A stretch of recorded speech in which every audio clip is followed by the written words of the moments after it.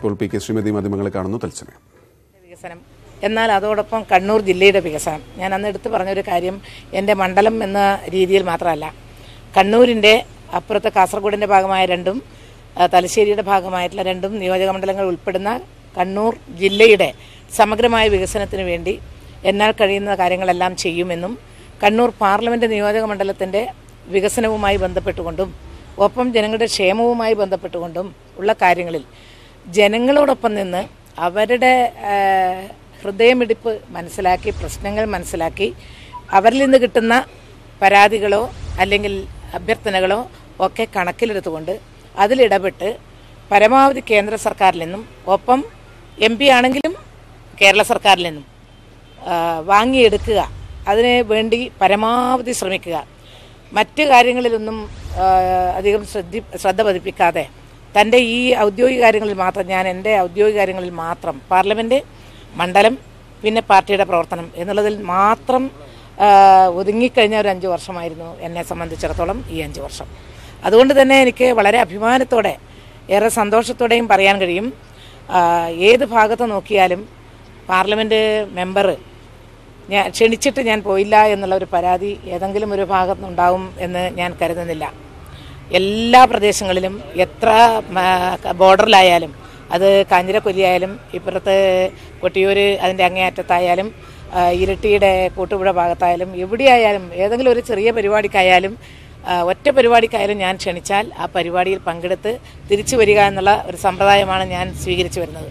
അതുകൊണ്ട് ഒരു വിശ്രമമില്ലാത്ത ഒരു ഒരു ഒരു പ്രവർത്തനം ആയിട്ടാണ് ഒരു ജനപ്രതിനിധി എന്നുള്ള നിലയിൽ എനിക്ക് ഫീൽ ചെയ്തത്. ഞാൻ അതിന് വിശ്രമിക്കാൻ വേണ്ടി ഞാൻ സമയം കണ്ടെത്തിയിട്ടില്ല. വിശ്രമമില്ലാതെ ജനപക്ഷത്ത് നിന്ന് ജനങ്ങൾക്ക് വേണ്ടി അങ്ങേറ്റത്തെ അങ്ങേയറ്റത്തെ ആത്മാർത്ഥതയോടെയും സത്യസന്ധതയോടെയും പ്രവർത്തിക്കാൻ സാധിച്ചു എന്ന ഒരു ചാരിതാർത്ഥ്യം എന്നെ സംബന്ധിച്ചിടത്തോളം ഉണ്ട്. അതിന്റെ ഒരു അംഗീകാരം കൂടിയാണോ രണ്ടാമത്തെ തവണയും ഇത്തരത്തിലൊരു സീറ്റ് വീണ്ടും ടീച്ചർ തേടി വരുന്നത്? അപ്പോൾ ഇതുമായി ബന്ധപ്പെട്ടുകൊണ്ടുള്ള കാര്യങ്ങളെ സംബന്ധിച്ച് പാർട്ടി ഞാനൊരു കേന്ദ്ര കമ്മിറ്റി മെമ്പറാണ്.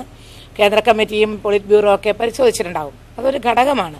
അതോടൊപ്പം തന്നെ കേരളത്തിലിപ്പോൾ സിറ്റിംഗ് എം പിമാർ എന്നുള്ള നിലയിൽ മൂന്ന് വട്ടം മത്സരിച്ച് ജയിച്ചതുകൊണ്ട് ഇനി കാസർഗോഡ് കണ്ണൂരിൽ പി കെ ശ്രീമതിയാണ് മത്സരിക്കുന്നത് സി പി എമ്മിന്. അത് അവർ വാർത്താ മാധ്യമങ്ങളെ കാണുകയാണ്. മറ്റു വാർത്തകളിലേക്ക്. ലോക്സഭാ തെരഞ്ഞെടുപ്പുള്ള സ്ഥാനാർത്ഥികളെ സി പി എം പ്രഖ്യാപിച്ചു ആറ് സിറ്റിംഗ് എം പിമാർ നാല് എം എൽ എമാർ രണ്ട് ജില്ലാ സെക്രട്ടറിമാർ രണ്ട് വനിതകൾ ഉൾപ്പെടുന്നതാണ് സി പി എമ്മിന്റെ സ്ഥാനാർത്ഥി പട്ടിക. പൊന്നാനിയിൽ പി വി അൻവറും ഇടുക്കിയിൽ ജോയ്സ് ജോർജും സ്വതന്ത്ര സ്ഥാനാർത്ഥികളാവും. ജയസാധ്യതയ്ക്ക് മുൻഗണന നൽകിയാണ് സ്ഥാനാർത്ഥി പട്ടിക ഉണ്ടാക്കിയതെന്ന് സംസ്ഥാന സെക്രട്ടറി കോടിയേരി ബാലകൃഷ്ണൻ പറഞ്ഞു. Kannur P K Sreemathi teacher. Vadakara P Jayarajan.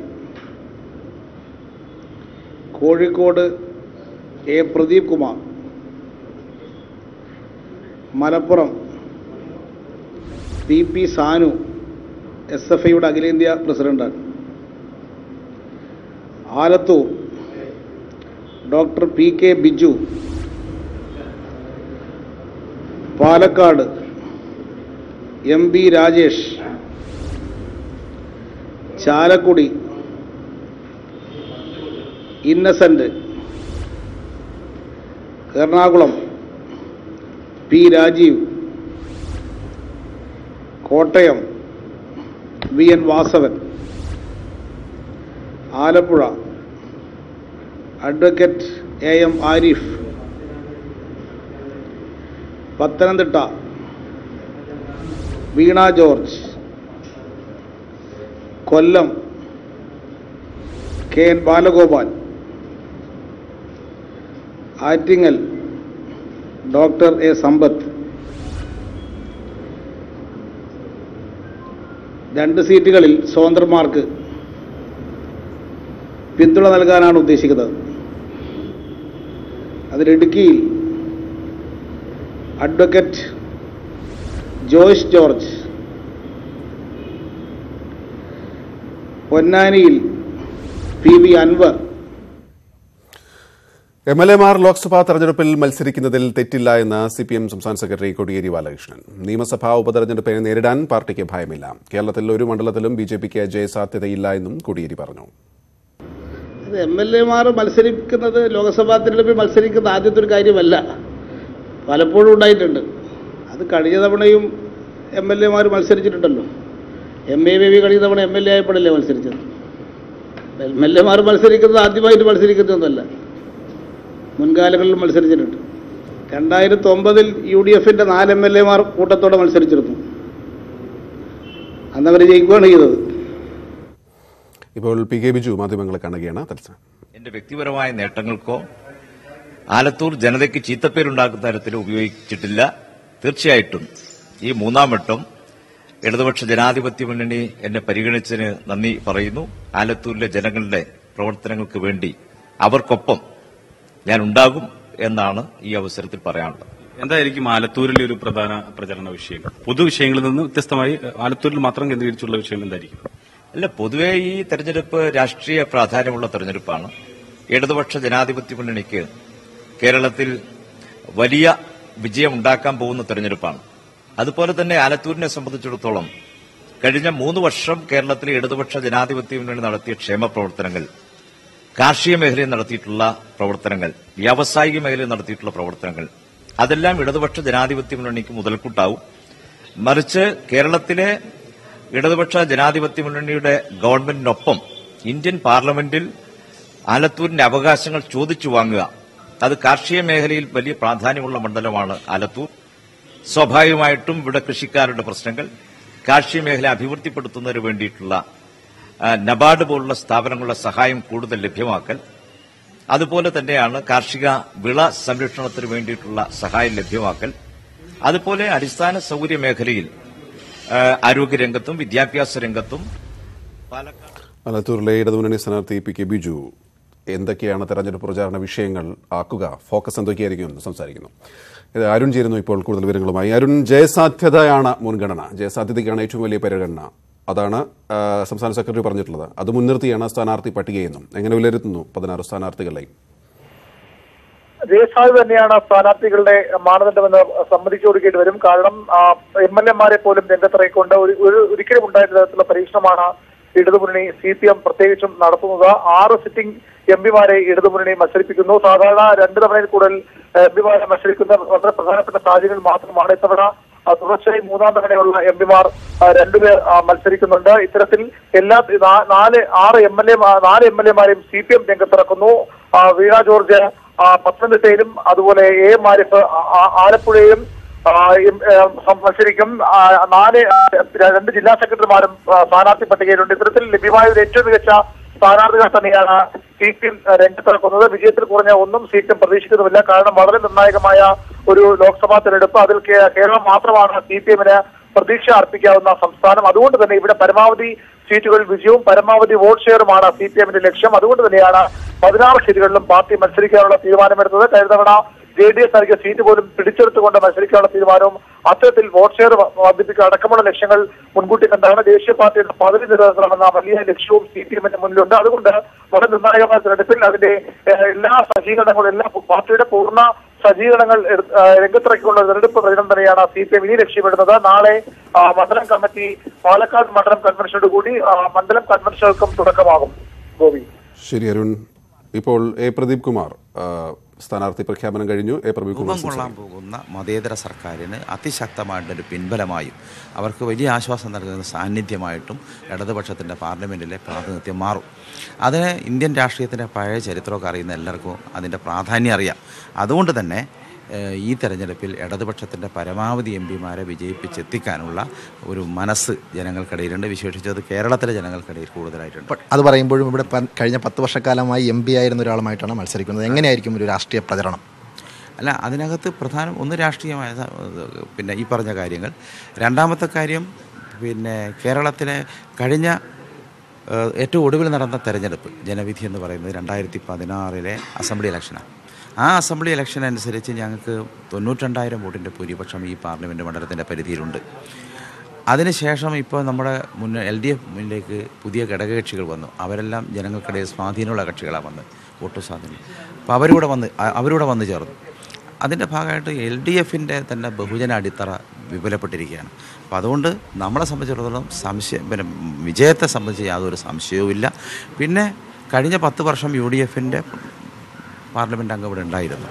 അവർക്ക് യു പി എ സർക്കാരിനും ബി ജെ പി സർക്കാരും ഒക്കെ വന്നിട്ടും അവർക്ക് പിന്തുണ ലഭിക്കാഞ്ഞിട്ടും പാർലമെന്റ് അംഗത്തിന് ഇവിടെ വികസന കാര്യങ്ങളെ വിശേഷിച്ചൊന്നും ഒന്നും ചെയ്യാനായിട്ടില്ല. ഒരു പാർലമെന്റ് അംഗത്തിന് ചെയ്യാവുന്ന നിലയിൽ. ഇതൊക്കെ പറയുമ്പോഴും സിറ്റിംഗ് എം എൽ എമാരെ കളത്തിലിറക്കി പൊതുഖജനാവിന് വലിയ നഷ്ടം എൽ ഡി എഫ് വരുത്തി വയ്ക്കുന്നു എന്നാണ് പ്രതിപക്ഷത്തിന്റെ ആരോപണം. ഇതിനെ എങ്ങനെയാവും നേരിടുക? അല്ല ആ കാര്യത്തിൽ മാതൃക കാണിച്ചവർ പ്രതിപക്ഷമാണല്ലോ കെ സുധാകരനും അതുപോലെ കെ സി വേണുഗോപാലും ഒക്കെ നേരത്തെ അത് കെ വി തോമസ് മാഷും ഒക്കെ എം എൽ എമാരായിരിക്കുമ്പോഴാണല്ലോ ഇവിടുന്ന് മത്സരിച്ച് പാർലമെന്റിലേക്ക് പോയത്. കുഞ്ഞാലിക്കുട്ടി അവിടെ ആര് നിന്നാലും ജയിക്കുന്ന ആ മണ്ഡലത്തിൽ മത്സരിച്ചല്ലേ പോയത്. അപ്പോൾ അത് ഓരോ കാലത്തെ ഈ- പറയുന്ന എം എൽ എമാരായിരിക്കുന്നവരും എം പിമാരായിരിക്കുന്നവരെല്ലാം ഓരോ കാലത്തെയും രാഷ്ട്രീയ നേതൃത്വത്തിന്റെയൊക്കെ ഭാഗമായി നിൽക്കുന്നവരാണ്. അവർക്ക് ഓരോ ചുമതലകൾ കൊടുക്കും. നമ്മൾ ഞാൻ ഞങ്ങളൊക്കെ ഇപ്പോൾ രണ്ട് മൂന്ന് ടേമായിട്ട് എം എൽ എ ആയിരിക്കുന്നു.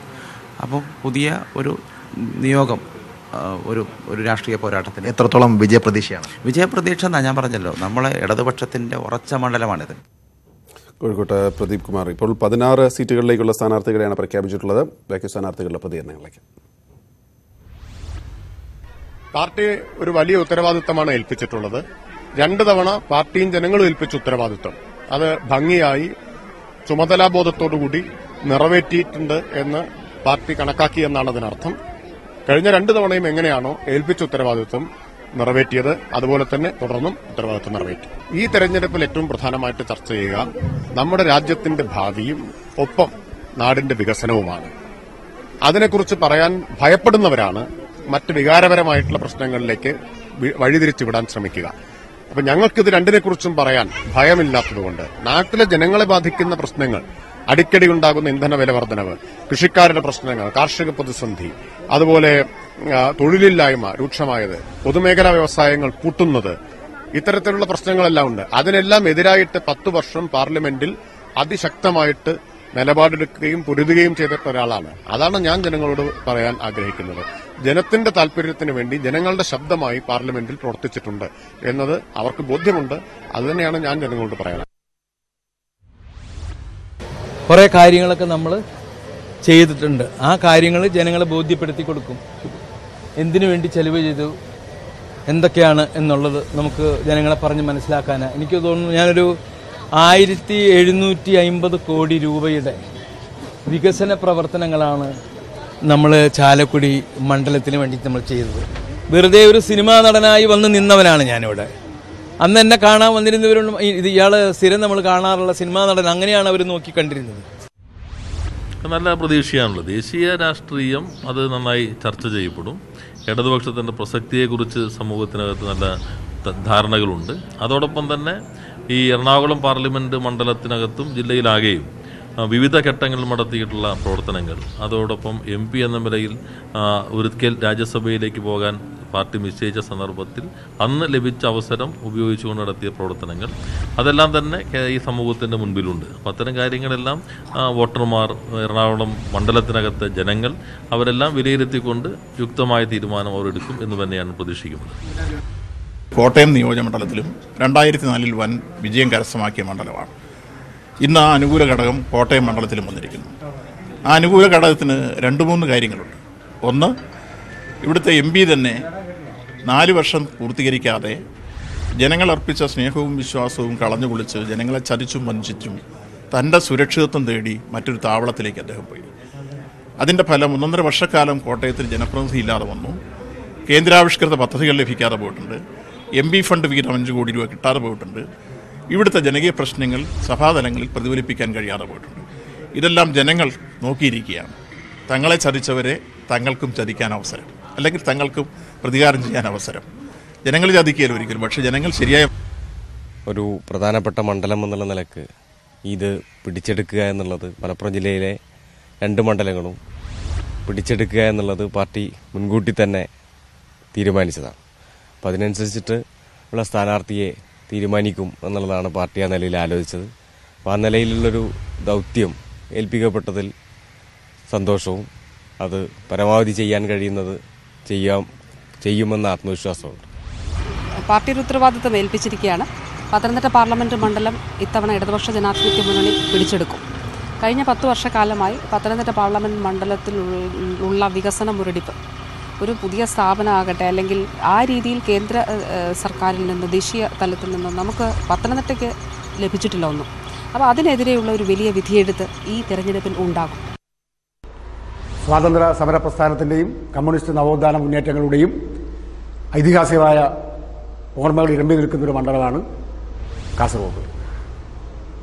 ആ നിലയിൽ കാസർഗോഡ് നിയോജക മണ്ഡലത്തിലെ സ്ഥാനാർത്ഥി എന്ന നിലയിൽ സി പി ഐ എമ്മും ഇടതുപക്ഷ ജനാധിപത്യ മുന്നണിയും എന്നെ ഏൽപ്പിച്ച ഈ ചുമതല വളരെ സത്യസന്ധമായി ആത്മാർത്ഥതയോടെ നിർവഹിക്കും.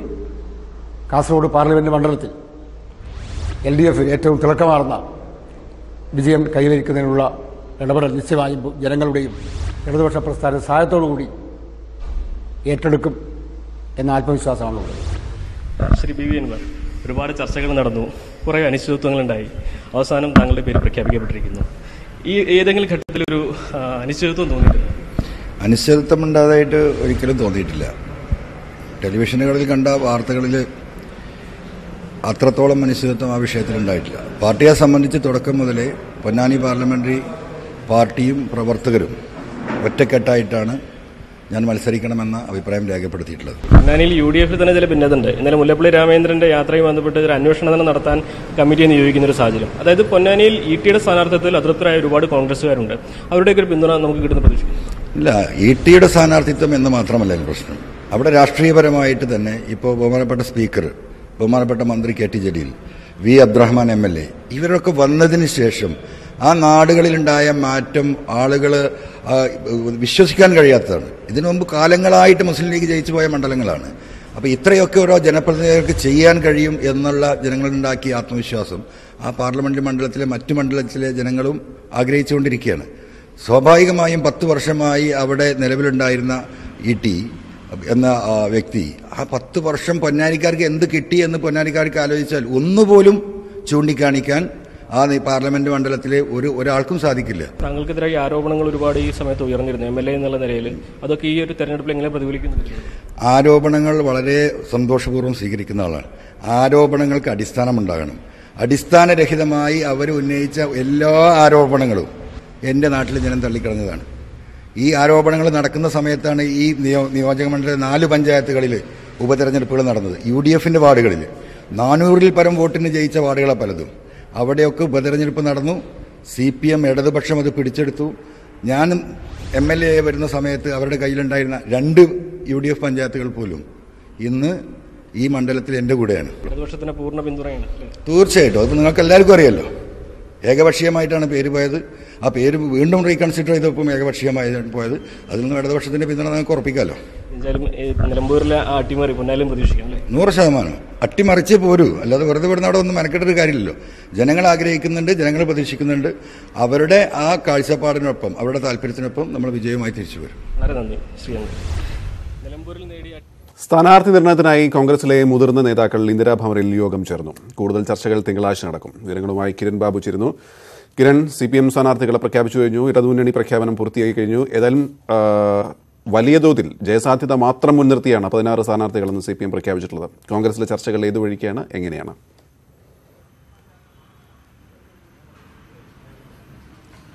ഏഹ് കോൺഗ്രസിന്റെ സ്ഥാനാർത്ഥി പട്ടിക സംബന്ധിച്ച് പ്രാഥമികമായ ചർച്ചകൾ പൂർത്തിയായി. കെ പി സി സി അധ്യക്ഷൻ മുല്ലപ്പള്ളി രാമേന്ദ്രനും എ ഐ ഗ്രൂപ്പുകളെ പ്രതിനിധീകരിച്ച് ഉമ്മൻചാണ്ടിയും രമേശ് ചെന്നിത്തലയും ചേർന്നാണ് ചർച്ച നടത്തിയത്. ഏകദേശം രണ്ട് മണിക്കൂറോളം നീണ്ട ചർച്ച ഇപ്പോൾ പൂർത്തിയായിട്ടുണ്ട്.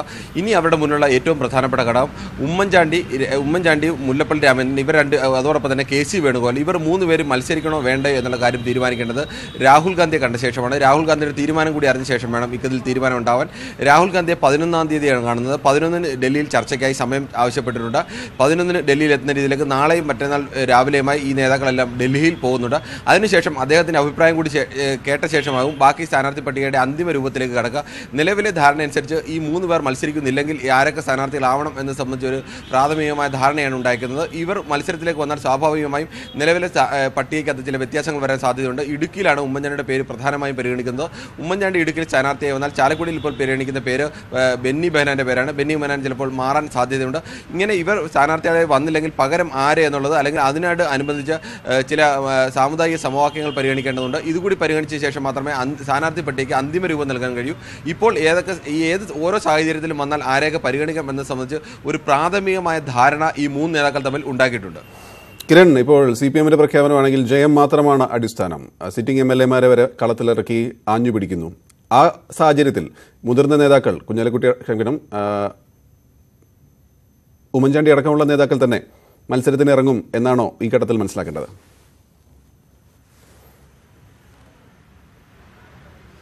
അതുതന്നെയാണ് സാധാരണഗതിയിൽ അടുത്ത ആഴ്ചയോ അതിനടുത്ത ആഴ്ചയോ മാത്രം സ്ഥാനാർത്ഥി പ്രഖ്യാപനത്തിൽ കടക്കുക എന്ന രീതിയിലേക്കായിരുന്നു കോൺഗ്രസ് നിന്നിരുന്നത്. എന്നാൽ പെട്ടെന്ന് തന്നെ ഇടതുമുന്നണിയുടെ സ്ഥാനാർത്ഥി പ്രഖ്യാപനം വന്നു കഴിഞ്ഞു. ഇടതുമുന്നണിയുടെ സ്ഥാനാർത്ഥി പ്രഖ്യാപനം കഴിഞ്ഞ ദിവസം ഉണ്ടാവുമെന്ന് അവർക്ക് ഉറപ്പായിരുന്നു. അതുകൊണ്ട് തന്നെയാണ് പെട്ടെന്ന് ചർച്ചകൾ വേഗത്തിലാക്കിയത്. ഹൈക്കമാൻഡ് ഭാഗത്തു നിന്നും സ്ഥാനാർത്ഥി നിർണയത്തിലേക്ക് ഉടൻ കടക്കണമെന്നുള്ള നിർദ്ദേശം വന്നിരുന്നു. ഇപ്പോൾ പ്രധാനമായും ആലോചിക്കുന്നത് പ്രധാന നേതാക്കളെല്ലാം മത്സരിക്കണം എന്നതാണ് പാർട്ടിയുടെ ഒരു പൊതുവികാരം. പാർട്ടി വിവിധ ഡി സി സികളിൽ നിന്നും ആവശ്യപ്പെടുന്നത് ഈ ഡി ഇവിടെ വിജയം ഉറപ്പാക്കാൻ കഴിയണമെങ്കിൽ ഏറ്റവും പ്രധാന നേതാക്കൾ തന്നെ മത്സരിക്കണം. ഉമ്മൻചാണ്ടിയുടെ ഉമ്മൻചാണ്ടി ഇങ്ങനെ മത്സരിക്കണം എന്ന് പറയുന്നു അതോടൊപ്പം തന്നെ മുല്ലപ്പള്ളി രാമേന്ദ്രൻ മത്സരിക്കണം എന്ന് ആവശ്യപ്പെടുന്നു ഈ രണ്ട് നേതാക്കളും മത്സരത്തിന് ഇല്ല എന്ന് നേരത്തെ തന്നെ വ്യക്തമാക്കിയവരാണ്. അതോടൊപ്പം തന്നെ കെ സി വേണുഗോപാലാണ് മറ്റൊന്ന്. ആലപ്പുഴ കെ സി വേണുഗോപാലിന് ഇരുപത്തിയൊമ്പത് സംസ്ഥാനങ്ങളിലെ ചുമതലയാണുള്ളത്. ഈ തെരഞ്ഞെടുപ്പ് കമ്മിറ്റിയുടെ യോഗം ഒന്നും രണ്ടും ഘട്ടങ്ങളായി നടക്കുന്ന തെരഞ്ഞെടുപ്പ് കമ്മിറ്റികളിലെ സ്ഥാനാർത്ഥികളെ നിശ്ചയിക്കേണ്ടതുണ്ട്. ഈ സംസ്ഥാനങ്ങളൊക്കെ പലപ്പോഴും പോകേണ്ടി വരും. ഈ സംസ്ഥാനങ്ങൾ കോൺഗ്രസിന്റെ സ്ഥാനാർത്ഥികളാണ് പലപ്പോഴും റിബൽ വരാൻ സാധ്യതയുണ്ട്. പലരും പാർട്ടിമാരടക്കം ഏഹ്, പല രീതിയിലുള്ള ഭീഷണികൾ ഉയർത്താൻ സാധ്യതയുണ്ട്. ഇതിനെല്ലാം അതിജീവിക്കേണ്ട ഉത്തരവാദിത്തം അല്ലെങ്കിൽ ഇവിടെ എല്ലാം ഇടപെട്ട് പരിഹരിക്കേണ്ട ഉത്തരവാദിത്തം കൂടി കെ സി വേണുഗോപാലിനുണ്ട്. അതുകൊണ്ട് കെ സി വേണുഗോപാൽ മത്സരിക്കണോ വേണ്ടോ എന്ന കാര്യത്തിൽ രാഹുൽ ഗാന്ധിയുടെ അഭിപ്രായം അറിഞ്ഞ ശേഷമായിരിക്കും തീരുമാനിക്കുക. അതോടൊപ്പം തന്നെ മുൻ കെ പി സി സി അധ്യക്ഷൻ വി എം സുധീരൻ മത്സരിക്കണമെന്നും പാർട്ടിയിൽ ശക്തമായ അഭിപ്രായമുണ്ട്. അതോടെ മുൻ എം എൽ എമാരെ മത്സരിപ്പിക്കേണ്ടതില്ല എന്നായിരുന്നു ഹൈക്കമാൻഡ് നിർദ്ദേശമെങ്കിലും ചില സ്ഥലങ്ങളിലെങ്കിലും എം എൽ എമാരുടെ പേര് പരിഗണിക്കണം എന്നും ഈ നേതാക്കൾക്ക് നേതാക്കൾക്കിടയിൽ ധാരണയുണ്ട്. എന്തായാലും ഒരു കെ പി കോൺഗ്രസ് ഒരു സ്ഥാനാർത്ഥി പട്ടിക പ്രഖ്യാപിക്കുമ്പോൾ അതിന് ഇടതുപക്ഷം നോക്കിയതുപോലെ തന്നെ വിജയ സാധ്യത പരമാവധി നോക്കിക്കൊണ്ട് തന്നെ അതിന് ഏറ്റവും മുതിർന്ന നേതാക്കളെ തന്നെ ഇറക്കണമെങ്കിൽ അവരുടെ വ്യക്തിപരമായ താല്പര്യങ്ങൾക്ക് അപ്പുറത്തേക്ക് പാർട്ടി താല്പര്യം നിലനിർത്തി അവരെ സ്ഥാനാർത്ഥികളെ അവതരിപ്പിക്കണം എന്നൊരു അഭിപ്രായത്തിലാണ് ഇപ്പോൾ മേൽക്കൈയുള്ളത്. എന്നാൽ ഇതിന്റെ എല്ലാം അന്തിമ തീരുമാനം വരുന്നത് ഇതിൽ ആരൊക്കെ മത്സരിക്കണം എന്ന് സംബന്ധിച്ച് രാഹുൽ ഗാന്ധിയുടെ ഒരു അഭിപ്രായം കൂടി കേട്ട ശേഷവും അത് തിങ്കളാഴ്ചയാണ് രാഹുൽ ഗാന്ധിയുമായി കൂടിക്കാഴ്ച നടത്തുന്നത്. ഇതിനായി ഈ മൂന്ന് പ്രധാന നേതാക്കളും ഡൽഹിയിൽ പോകുന്നുണ്ട്. അതോടൊപ്പം തന്നെ മറ്റ് ചില പ്രധാന നേതാക്കൾ കൂടി മുൻ കെ പി സി അധ്യക്ഷന്മാരടക്കമുള്ള നേതാക്കൾ കൂടി ഡൽഹിയിൽ എത്താൻ സാധ്യതയുമുണ്ട്. കിരണാണ് വിവരങ്ങൾ നൽകിയത്. കുഞ്ഞാലിക്കുട്ടി മത്സരിക്കുന്ന കാര്യത്തിൽ ലീഗ് നേതൃത്വത്തിന് ആശയക്കുഴപ്പം. തെരഞ്ഞെടുപ്പിൽ നിന്ന് മാറി നിൽക്കാൻ കുഞ്ഞാലിക്കുട്ടി ആലോചിക്കുന്നതായി സൂചനയുണ്ട്. പൊന്നാനി പിടിക്കാൻ കുഞ്ഞാലിക്കുട്ടി മത്സരിക്കണമെന്ന ആവശ്യവുമായി ഒരു വിഭാഗം രംഗത്തെത്തി. മുഹമ്മദ് ഷഹീദ് ചേരുന്നു. ഷഹീദ് എന്താണ് ഇപ്പോഴുള്ള അനിശ്ചിതത്വങ്ങൾ? ഗോപി മുസ്ലിം ലീഗ് സംസ്ഥാന പ്രവർത്തക സമിതി യോഗം ഇന്ന് ചേരുകയാണ്. ഈ യോഗത്തിന് ശേഷം മുസ്ലിം ലീഗിന്റെ സ്ഥാനാർത്ഥികൾ ആരായിരിക്കുമെന്ന കാര്യത്തിൽ ഔദ്യോഗിക പ്രഖ്യാപനം ഉണ്ടാകുമെന്നാണ് കരുതപ്പെടുന്നത്. ഇന്നലെ രാത്രിയോടുകൂടിയാണ് മുസ്ലിം ലീഗ് നേതൃതലത്തിൽ ആശയക്കുഴപ്പം ഉണ്ടാക്കുന്ന തരത്തിൽ പുതിയൊരു നീക്കം പാർട്ടിക്കുള്ളിൽ നടന്നത്. അതായത് നേരത്തെ പൊന്നാനിയിൽ ഇ ടി മുഹമ്മദ് ബഷീറും മലപ്പുറത്ത് പി കെ കുഞ്ഞാലിക്കുട്ടിയും മത്സരിക്കണമെന്നായിരുന്നു സംസ്ഥാന മുസ്ലിം ലീഗിന്റെ ഉന്നതാധികാര സമിതി യോഗത്തിലുണ്ടായിരുന്ന ധാരണ. പക്ഷേ ഇതിനെ അട്ടിമറിക്കുന്ന രീതിയിൽ ഇന്നലെ രാത്രി ചില നീക്കങ്ങൾ പാർട്ടിക്കകത്തുണ്ടായി. അതായത് പൊന്നാനിയിൽ നിന്നും അഞ്ച് നിയമസഭാ മണ്ഡലം പ്രതിനിധികൾ പാണക്കാട് ഹൈദരലി ശിഹാബ് തങ്ങളുമായി ബന്ധപ്പെട്ട് പൊന്നാനി പ്രതിസന്ധിയിലായ പൊന്നാനി മണ്ഡലം ലീഗിന് നിലനിർത്തണമെങ്കിൽ പി കെ കുഞ്ഞാലിക്കുട്ടി പൊന്നാനിയിൽ മത്സരത്തിന് ഇറങ്ങണമെന്ന ഒരു ആവശ്യം മുന്നോട്ട് വെക്കുന്ന ഒരു സാഹചര്യമുണ്ടായി. ഇത് ഇ ടി മോഹൻ ബഷീറിന്റെയും ഹൈദരി തങ്ങളുടെയും അറിവോടുകൂടിയാണ് ഇത്തരം ഈ മണ്ഡലം കമ്മിറ്റികൾ ഇത്തരം ഒരു നീക്കം നടത്തിയതെന്നാണ് ശ്രദ്ധേയമായ കാര്യം. ഇതാണ് മുസ്ലിം ലീഗ് നേതൃത്വത്തിൽ ഇപ്പോൾ ഉണ്ടാക്കിയിരിക്കുന്ന ആശയക്കുഴപ്പം. അങ്ങനെ പൊന്നാനിയിലേക്ക് തന്നെ പൊന്നാനിയിൽ താൻ മത്സരിക്കുകയാണെങ്കിൽ മത്സരിക്കണമെന്ന് പാർട്ടി പറയുകയാണെങ്കിൽ താൻ തൽക്കാലം മാറി നിൽക്കുകയാണെന്നൊരു ഒരു നിലപാട് കുഞ്ഞാലിക്കുട്ടി പാർട്ടി നേതൃത്വത്തെ അറിയിച്ചതായാണ് നമുക്ക് ലഭ്യമാകുന്ന വിവരം. ഇത് അതേസമയം ഇത് കൂടുതൽ ഈ പാർട്ടിക്കുള്ളിൽ പ്രതിസന്ധി കൂടുതൽ വർദ്ധിപ്പിക്കുന്ന സാഹചര്യം ഉണ്ടാകും. കാരണം മത്സര രംഗത്ത് നിന്നും പി കെ കുഞ്ഞാലിക്കുട്ടി പൂർണമായി മാറി നിൽക്കുന്നത് പാർട്ടിക്ക് ഈ ഈ സാഹചര്യത്തിൽ അത് ആലോചിക്കാൻ കഴിയാത്ത ഒരു ഒരു സാഹചര്യം കൂടിയുണ്ട്. അതാണ് ഇപ്പോൾ നേതൃത്വത്തിൽ ഉണ്ടായിരിക്കുന്ന ഒരു ആശയക്കുഴപ്പം. ഏതായാലും പ്രവർത്തക സമിതി യോഗത്തിന് മുന്നോടിയായി ഈ സാഹചര്യം വിലയിരുത്താൻ വേണ്ടി ലീഗ് ഉന്നത ലീഗ് നേതാക്കൾ ഒരു മുൻകൂർ യോഗം ചേരുകയുണ്ടായി. ഇതിലൊരു ധാരണ രൂപപ്പെടുത്തിയിട്ടുണ്ട് എന്നാണ് നമുക്ക് മനസ്സിലാക്കാൻ സാധിക്കുന്നത്. ഏതായാലും പ്രവർത്തക സമിതി യോഗം ഇപ്പോഴും തുടരുകയാണ്. അല്പസമയത്തിന് ശേഷം യോഗം അവസാനിച്ച് ബി ജെ നേതാക്കൾ മാധ്യമങ്ങളെ കാണുന്നുണ്ട്. അതിനുശേഷം സ്ഥാനാർത്ഥി പ്രഖ്യാപനവും കൃത്യമായ രീതിയിൽ ഔദ്യോഗികമായ പ്രഖ്യാപനവും ഇന്ന് തന്നെ ഉണ്ടാകുമെന്നാണ് നമുക്ക് ലഭ്യമാവുന്ന വിവരങ്ങൾ. ഗോപി. ശരി ഷാഹിദ്. കോട്ടയം സീറ്റ് കേരള കോൺഗ്രസ് വെച്ചു മാറില്ല എന്ന് Jose K Mani M P. ആര് സ്ഥാനാർത്ഥിയാകണമെന്ന കാര്യത്തിൽ സ്റ്റിയറിംഗ് കമ്മിറ്റി തീരുമാനിക്കും പി ജെ ജോസഫ് സ്ഥാനാർത്ഥിയാകുമോ എന്ന ചോദ്യത്തോട് പ്രതികരിക്കാൻ ജോസ് കെ മാണി തയ്യാറായില്ല. തീർച്ചയായിട്ടും ഈ പറഞ്ഞ നമ്മുടെ ഏതെങ്കിലും ഒരു ഈ വിഷയത്തിൽ തീർക്കണമല്ലോ. അപ്പോൾ ഇത് അത് പാർട്ടി യോജിച്ച് നിന്ന് അതിന് തീരുമാനം അതായത് പാർട്ടിക്ക് തീർക്കാൻ പറ്റാത്തതൊന്നും ഇല്ലല്ലോ. പാർട്ടിക്ക് തീർക്കുമല്ലോ. ഇന്നലെയും ആവർത്തിച്ചു അദ്ദേഹം സ്ഥാനാർത്ഥി ഞാൻ പറഞ്ഞത് പലരും പറഞ്ഞിട്ടുണ്ട്. പക്ഷേ ഈ കാര്യത്തിലൊക്കെ പാർട്ടി തീരുമാനം എടുക്കും